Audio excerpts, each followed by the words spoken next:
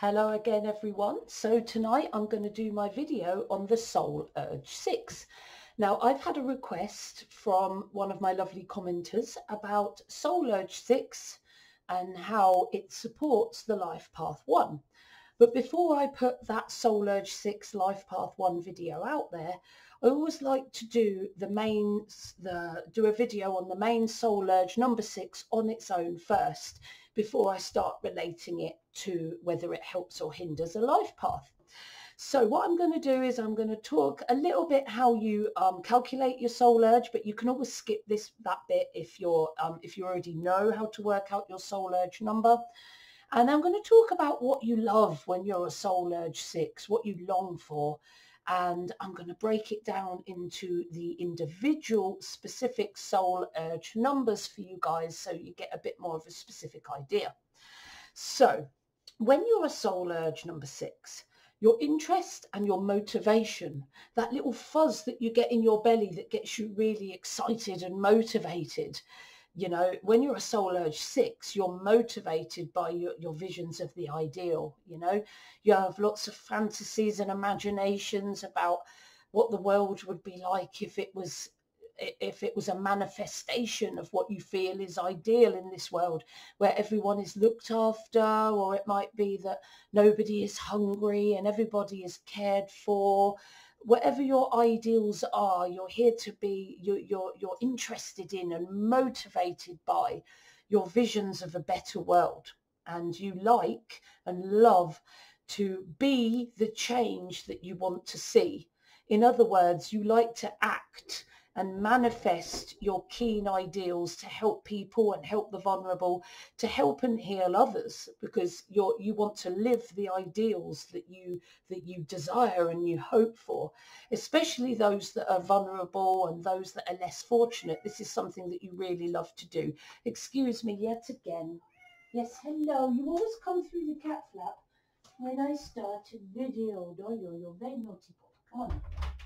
Out you go. Out you go. Good boy. Good boy. Sorry about that. As you may have noticed on other videos, the cats hardly come through the cat flap all day. But when I start a video, they're suddenly present, in and out, in and out, in and out, disrupting my videos. Bless their little hearts. It's a good job I love them to bits, isn't it?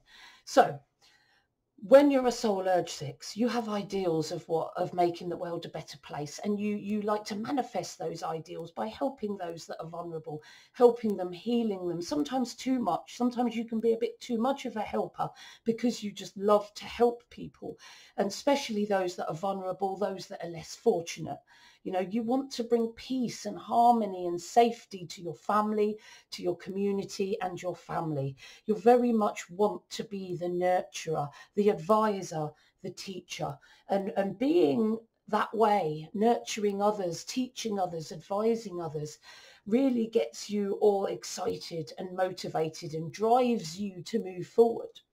So just quick, if you're not quite sure how to work out your soul urge number, then watch the next bit. But this bit is in all my soul urge videos, so just skip this bit if it's something you've seen before. So working out your soul urge number, you need the vowels of your full birth name. First name, any middle names, any and all middle names, and your last name. Okay, so the vowels you need to add up, reduce to get your soul urge number. However, if you see down here, we have a Y sometimes that Y, even though it is a consonant, is considered a vowel because it makes the vowel sound in a word. For example, when Y is a vowel, if the Y is the first letter of a name, and then that first letter is followed by a consonant, like Yvonne or Yvette, you notice the Y makes that vowel sound, Y, Yvonne, Yvette. So it's like it's it takes the place of the vowel in that word. So in that situation, Yvonne, Yvette, that Y at the beginning of the word will be part of your soul urge number because it is the, the vowel sound. Okay. If the Y is the last letter of a name and it comes after a consonant, again, it's a vowel because you have bar, e. And again, the Y is the vowel sound at the end of the word. Barry, Tommy, Jimmy, and it's after a consonant. So that Y at the end of your name, if you have a Y at the end of your name after a consonant, that is actually a vowel and should be included in your soul urge. So if Y is the first letter of your name, but it's followed by another vowel, then that second vowel will take the vowel sound. So that first Y would be considered a consonant because the second vowel takes the, the, the, the takes will take the vowel sound, if I'm being clear like Mickey. The E will be the vowel sound, so the Y at the end of Mickey will be a consonant, okay? If the Y is found between two consonants, again, it's a vowel because it is the vowel, it is considered a vowel and it will be in your soul urge because it is the vowel sound in the word, like Kyle. You know, the Y is considered the vowel sound in the name Kyle. So the, the Y and the E would be added to um, Kyle's soul urge. Okay, if the Y is between two vowels, however, of course the Y is a consonant because the two vowels take that vowel sound. Okay, um, if the Y is between a vowel and a consonant, it's likely that the Y will be a consonant um, as long as when you say the name, it's that first vowel or the vowel and the consonant that makes that vowel sound first. Then the Y will be a consonant but there are there are situations where that might be a little bit different but you can almost you always ask me if you have a name that might be mm, is my is my name is the y in my name a vowel or not? You can always ask me. So in the name sydney two y's there the first y is a vowel and the second y is a consonant because the first vowel here is is between two consonants so it makes that vowel sound but the end Y comes after a vowel, so the vowel goes to the E, so that goes to your personality number. So the first Y is your soul urge, the second Y is your personality number. And in Billy, Sylvia, the S and the L, Missy, Kyle, Blythe, Sylvester, the, the Y is a vowel in that name. But in Kay, because the A before the Y, Yeltsin, May, Y is a consonant okay but you can always ask me questions if you're unsure about my um, explanation there. So if I was working out the soul urge of this young lady here she has no middle name on her birth certificate. She has a first name and a surname just like my mum. You know not everyone has a middle name. So this person Samantha Johnson what I've done is I've taken her full name on her birth certificate, which is just Samantha Ann Johnson, and I've picked up the vowels, which are three A's, there are no Y's there, and added them together because A is one, three A's is a three. So for Samantha, uh, the soul urge is three. Johnson, the only two vowels here are the two O's and there's no Y. So it's 6 plus 6 um, equals 12 and then 1 plus 2 equals 3. So adding those two big numbers up for Samantha and Johnson, they're both three soul urge numbers, we come to a 6. So Samantha Johnson is a soul urge 6. So what motivates you when you're a soul urge 6? This is the meat of the soul urge. So as I've said, you've got a really strong passion and interest for keeping those idealistic flames alive. That vision of a world where everybody is happy and at peace and taken care of. This is something that really, really drives you and motivates you to move forward all the time. You're motivated by your visions of the perfect and the ideal, calling you to do your best in everything you do.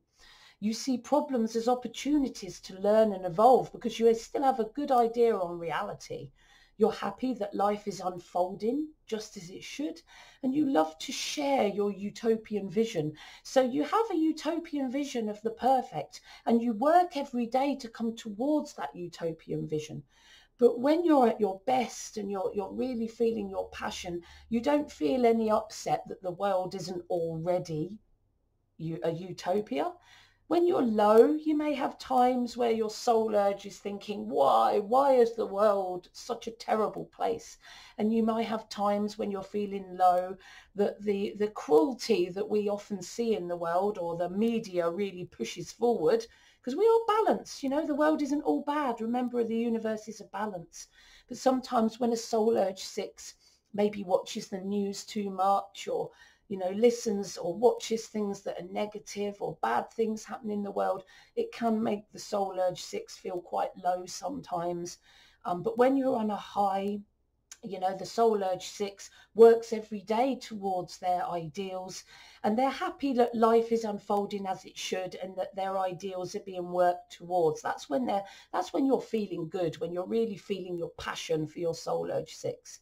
You're motivated, you're driven to work hard for this better world, to help less fortunate improve their lives, to inspire, give people hope, direction, peace, safety, security. You love to give that to others and really help them improve their lives. You're a passionate humanitarian. You love to be a healer, a cause fighter, a justice seeker, even a mediator, a very, very sensible advisor. You like to be the one that helps everyone and helps to sort out their problems and make their lives better. That really drives you. That's what gives you that real buzz, that real wow, you know, that feeling that you've helped someone or made someone smile or improved their lives in some way, made them more peaceful or comfortable, made them feel loved even, you know. You just love to bring harmony, peace, truth, justice and calmness and love and comfort to any environment. You know, it's all about comfort when you're a Soul Urge 6. Soul Urge 6 love being in harmony and being comfortable. They also love aesthetics and beauty and creativity. Sixes love music. You could be a passionate musician or singer. You might not necessarily want other people to hear you do it, but this is something you love. So you might use it as part of your um, career, especially if it's part of your life path. That would be a good thing but it might be something that you just love to do for leisure. You know, not everything has to be done in your career um, passionate mu- for music, um, maybe being a musician or even a singer. You love to be beautiful. You love to make things beautiful, like yourself or your home. You love homewares, furnishings, um, you know, beautiful hair, making yourself look and feel good, but not just yourself, but your environment as well. You just love beauty, artistry, and you like to look nice, you like home furnishings, you like your environment to look nice. You're very, very family orientated. You love to be at home with your comfortable family, giving them love and comfort. Um, you're sensible, you're, you're parental, very nurturing, loving, compassionate, warm. Your typical earth mother, that's what you love when you're a soul urge six. You want to be that all-encompassing, comforting, loving earth mother. Um, you love to build close, sincere relationships. You're a loyal friend. You know, it's good to have a soul urge six. It's good to have a six in your life because they're such a nurturing person. But, you know, when you're a soul urge six, you can be a bit of a meddler because you just love to help people so much. Sometimes you can do a bit too much and sort of, you know, push yourself a bit too much on people when you need to be stepping back because the soul urge six needs boundaries. Okay, when you're really buzzing on your soul urge six, you must always keep in mind you need boundaries for yourself and you need to respect the boundaries of others. For example, there's going to be times when you're helping someone that you need to step back and look after yourself, look after your own family, get some sleep, have something to eat, see your family, see your friends. You know, you need to take that balanced time out for you. And on the other person's perspective, they have a life path to walk. They don't necessarily want you to be fixing everything and walking their path for them. In that case, then you're overstepping their boundaries. So it's important when you're a soul urge six, because you love to help others, that you establish boundaries on how much you will do um, and you know when to step back so that you're not meddling too much in people's lives because your, your good intentions to help other people can tip too far the other way if you become too much of a meddler and you step on people's life paths. So be, be sure that you know when to step back and let them take over and take after your, look after yourself and your own family and your own interests. Okay, so boundaries are important for a soul urge six. You know, you love to build close, sincere relationships. You're a loyal friend, as I've said, a motivated socializer. You love seeing people, you love seeing friends, very extroverted, natural nurturer, caring, bit of a fixer, as I've just said. Boundaries are important. You're responsible. You like to be responsible. You like to be helpful. You like to be selfless. Um, you're a good teacher. You know, you'd love to be a teacher, helping other people out. Um, quite conventional, very much the stable provider and the stable protector.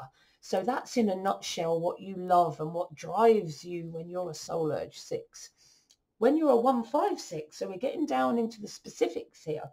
So the first line and a half is the six soul urge, which I've taken down into. So when you're a soul urge number 156, you are motivated first and foremost by your visions of a better world.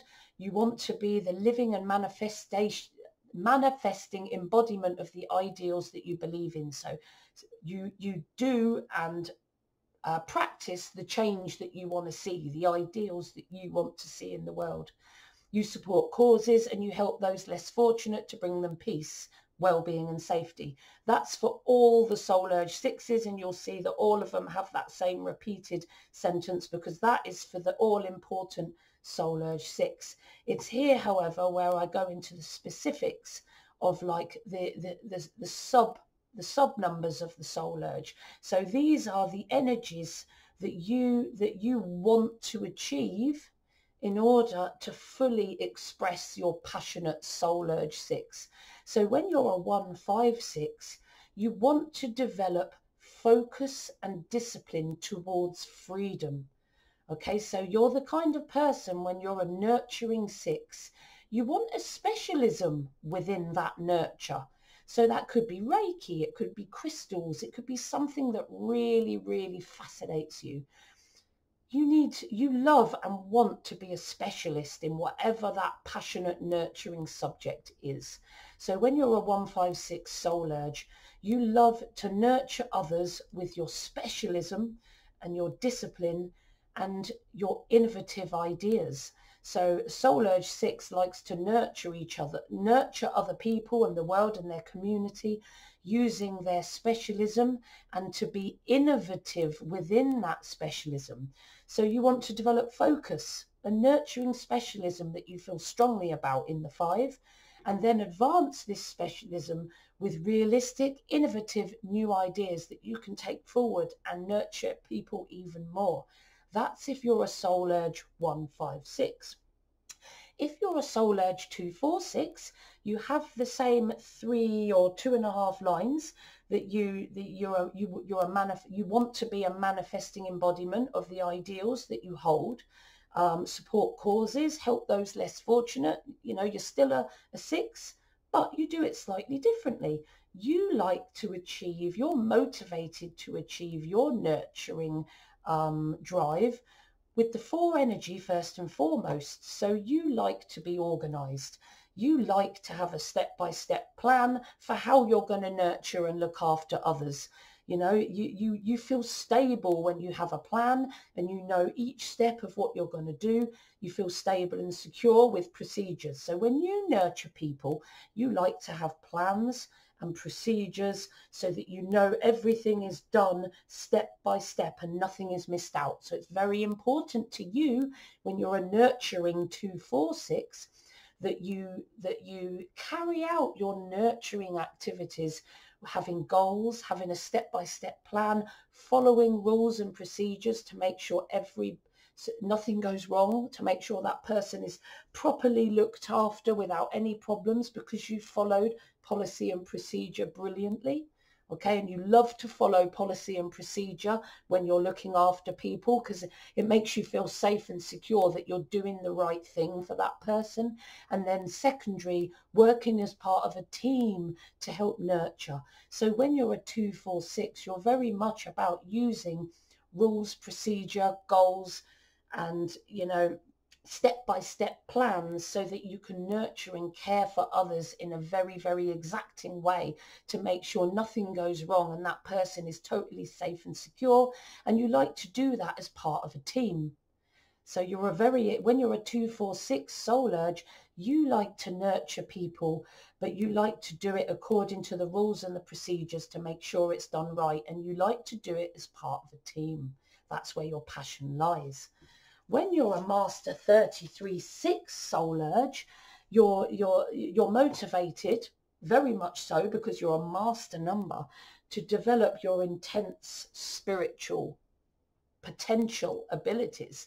You want you really want to develop your intuition and your empathy and your ability to be psychic and channel ideas and commune with source energy and listen to your intuition very very spiritual and you really really love and want to develop those abilities. You're passionately motivated to creatively artistically or verbally or all three to express your emotions in whether it's with your words, you can express your emotions with your music, you can express your emotions with your art, um, the way you speak to people, you can express your emotions by the way you behave around people and express your emotions and sensitivity in a positive way. Okay, to nurture others in that 33-6. So you love performance to, to inspire and heal and entertain. You love performance to make people feel good because it's part of your nurturing that you love to do. You know, you love performance, you love public speaking as long as it's positive and it in it you know and it enraptures and helps and heals people. You love to heal with your art. You might love to heal with your music. Anything that requires emotional expression to the world, to an audience, so that you can use it to heal, to inspire, to inform and delight.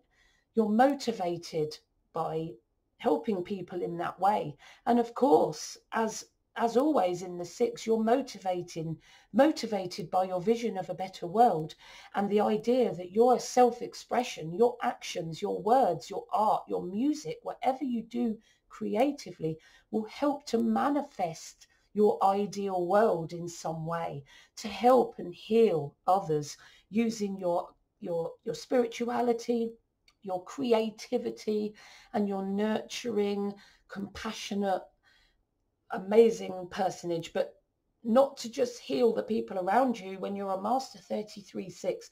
We're talking about the world here. This is, you know, you, you don't, when you're a soul urge master 33-6, you think big. You're passionate about healing the world, not just your family, not just your local community. You want your ideas, your expression, your, your healing and nurturing teachings. You want that to go global so that you heal a wider variety of people. This is a very, very big-hearted soul urge to have because it's a, a very high energy. It's a very, very giving energy. And if it's your soul urge, you're going to put your heart and soul into expressing and executing for the world, not just for the community or for the people around you, for the world. So this is a big, big, big soul urge to have. Okay, when you have a soul urge master 33-6 because you want to be parental, you want to be responsible, you're, you're spiritual, you're a nurturer, you always want to help, you inspire, you delight, you heal, you help the less fortunate. This just drives you, it gives you a buzz. But be careful not to exhaust yourself because when you're a master 33-6 soul urge, the intensity of your desire to help others is extremely strong. So those boundaries are very, very important here. You don't want to exhaust yourself or meddle too much in other people's lives and overstep their boundaries. Okay. Soul Urge 42.6, I've forgotten to switch those round. Dear oh dear, accuracy is not my strong point. So soul urge number 42.6 is just the 24.6 switch the other way. So whereas the 6 that is a 24.6 are very important when it comes to procedures and rules and making sure they nurture people to a procedure, a rule and a goal and a plan.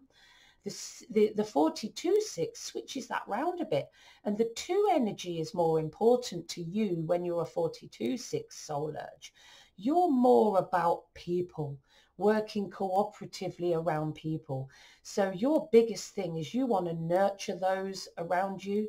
You want to look after those around you and promote your better world with your actions, manifesting help and healing towards others.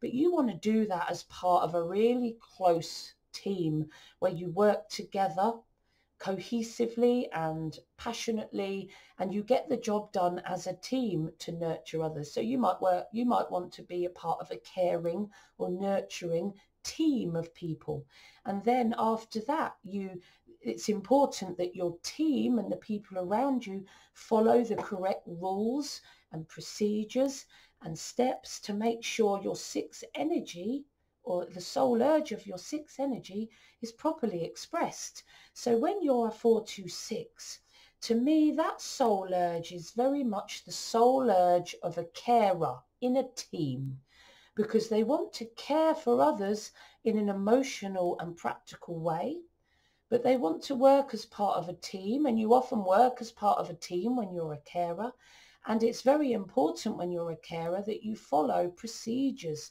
that you follow rules, that you follow um, all the statute, all the laws relating to it. So I very much see the 426 as definitely the the, the, the, the soul urge of a carer. The same with 2-4, but in 246 it's more procedures based and less team based. So you could think that the 246 is the carer's um, soul urge as well. I think possibly both of them are definitely the carer's soul urge, working as a team, following procedure to make sure people are cared for and nurtured. And you know what? It could be a teacher as well, because teachers work as part of a team and they, they have to follow rules and procedures and guidelines and laws in order to nurture the children and teach and advise them. So there are many ways your soul urge can be expressed when you're a 246 or a 426 soul urge. Okay, so you're very much about the two more importantly when you're a 426, socializing, building relationships, promoting peace and harmony to get the job done as part of your team, often behind the scenes uh, but also to be organized, have a plan, have a procedure so that your organization or your nurturing is stable and secure and you work tirelessly to achieve that. So you're very much a hard worker. And I would say the 246 um, is a very, very hard worker when it comes to caring because the four is prone to be quite a workaholic number. So when you're a 246, and especially with the two and six, you might work too hard and forget your boundaries totally because the two and the six sometimes work too hard uh, and don't um, look after their own boundaries and the four fully expressed can be quite a workaholic. So you have a bit of those tendencies when you're a 2-4 and a 4-2-6 soul urge. You know, boundaries and uh, boundaries to how much work you should do and what you should do to other for others is very important. Okay. 516. So again, this is similar to the 156, but it's just switching those numbers around. So you're always here to nurture and heal the world, just like all soul urge sixes. That's what they want to do. It's not necessarily their path or their talent. It's just something they want to do because it's their soul urge. So you want to help and heal the world. But first and foremost, you want to do it in an innovative way. So you want to nurture and teach and help other people and help the vulnerable in a new way. You don't want to do, you don't want to look after others in the conventional way. You want to bring innovation to nurturing. You want to bring innovation to caring, to teaching, to advising, to make it better. Bring new ideas to the idea of nurturing others that need it. And then using those innovative ideas as part of a, a discipline specialism. So it's just the 156 switch the other way round. So instead of focusing on your specialism that the 156 would do, you're going to be more focused on you on innovation, new ideas that you can channel from source energy that you can use to help and teach and nurture people for your sixth soul urge. And those, those innovative ideas that you love to bring forward to nurture others are going to be part of a specialism or a focus that you love the most within the teaching, advising, nurturing, healing sphere. And that could be any specific subject that you find are most passionate about. Anything from being an NHS worker to being a crystal healer or a, or, a numerologist. That might be your specialism and you might want to be innovative, innovative in your specialism in order to nurture, heal and advise. Okay, so that's what you're passionate about when you're a 516. You know, you want to be unique and innovative. You want to channel unique groundbreaking new ideas that and lead others to the fruition of these ideas. So it brings nurture and teaching forward into the 21st century. And you know, you'd like you want to have a specialism that you focus on with discipline to achieve that freedom that you would love to have. Excuse me. Excuse me, dear oh dear. So, last but not least, and the most rarest of the soul urge numbers is the 606. So when you're a 606, you're a very intense nurturer. Excuse me. dear, oh dear. So the zero within the, the 606 gives you added spiritual abilities, added perceptions, added intuitions. And this and it also intensifies even more that energy of the six. So it's a very intensely spiritual six energy. So you're uh, like a, a, soul urge six. You you know you're you want to be a practical embodiment of the ideals that you believe in, support causes that you believe in, help those less fortunate, bring them peace and nurturing, comfort, peace, all the things that a soul urge six wants. Um, but to achieve this, you use spirituality very much so, like the 33-6 does, but you use your perceptions, channeling spiritual intuition. You like to listen to, you, you, you love to use your enhanced perceptions. You might be an empath. Um, you might like read other people and maybe even know their needs before they do when you're a, when you are 606. So that's that's what you're passionate about being. You want to when you're a soul urge 606, you want to be that you know that to be a to manifest that your visions of a higher of a of a better world um, support causes, help those fortunate, bring peace, but you want to do so using your spirituality as well as practically helping.